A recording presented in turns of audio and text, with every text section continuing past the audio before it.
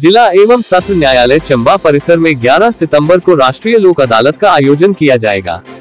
यह जानकारी देते हुए जिला विधिक सेवा प्राधिकरण चंबा के सचिव पंकज गुप्ता ने बताया कि राष्ट्रीय लोक अदालत में विभिन्न मामलों का निपटारा समझौता के आधार पर किया जाएगा। इस दौरान आपराधिक कंपाउंडेबल अपराध एन एक्ट के मामले, धन वसूली के मामले आदि पर सुनवाई कर निपटारा किया जाएगा।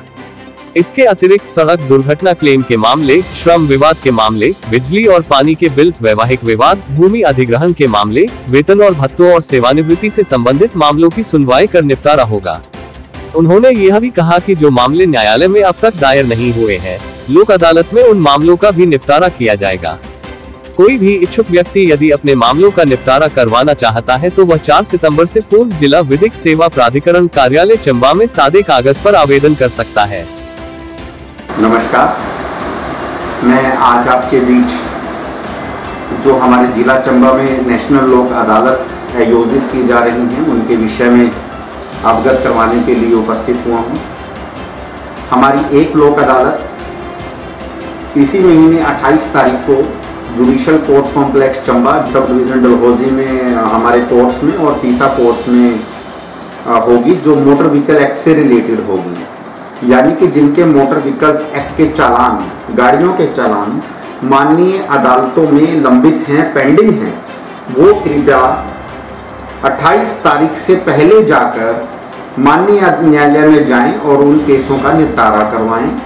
उसमें आपको यह फ़ायदा होगा कि सबसे ज़्यादा कि जो हमारा मोटर व्हीकल एक्ट है, वो रिपील हो चुका है अमेंड हो चुका है। अब फाइन्स बहुत ज़्यादा हो गई हैं।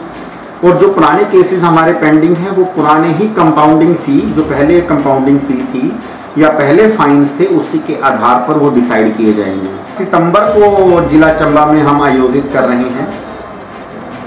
11 सितंबर को जो लोक अदालत है, उसमें वो केसेस भी लिए जाएँगे, जो अभी माननीय अदालत में नहीं गए हैं, जिनको हम प्री लिटिगेशन केसेस कहते हैं, तथा वो केसेस भी लिए जाएँगे, जो माननीय अदालतों में लंबित हैं, यानी कि पेंडिंग केसेस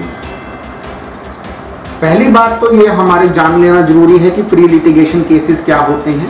उसका मतलब कि मान लो कोई एक पार्टी दूसरी पार्टी के खिलाफ अदालत में जाना चाहती है, कोई केस करना चाहती है या कोई डिस्प्यूट है तो वो अदालत में ना जाकर सबसे पहले वो साधारण कागज़ पर अपना डिस्प्यूट जो दूसरी पार्टी के साथ डिस्प्यूट है, वो लिखकर हमारे विभाग में दे सकती है, जिससे हम दोनों पार्टीज़ को बुलाएँगे और दोनों पार्टीज़ का फैसला करवाया जाएगा और उस फैसले को कानूनी रूप 11 सितंबर को लोक अदालत में दे दिया जाएगा।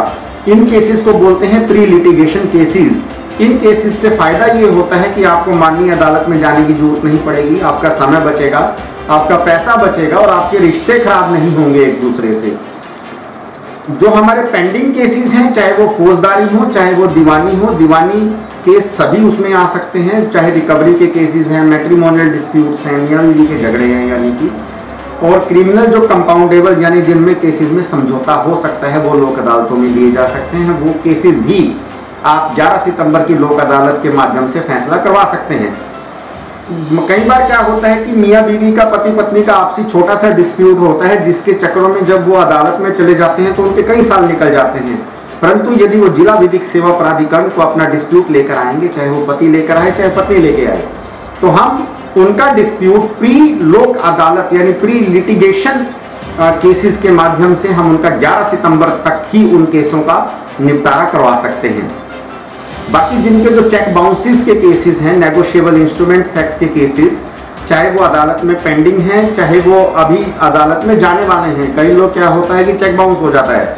तो नोटिस देते हैं नोटिस के बाद अदालत में जाते हैं तो अदालत में जाने से पहले भी आप प्री लिटिगेशन डिस्प्यूट हमारे पास लेके आ सकते हैं, चाहे ताकि हम उनका फैसला करवा सकें। जो केसेस आपके दो लाख से कम, खासकर जिनमें चेक की कीमत दो लाख से कम है, वो सभी केसेस लोक अदालत में लगाए जा रहे हैं। उसका उद्देश्य यह है कि पार्टी का समझौता करवाया जाए कि दो लाख रुपया चेक का है तो चेक का पैसा तो देना ही है तो वो किस्तों में दिया जा सकता है।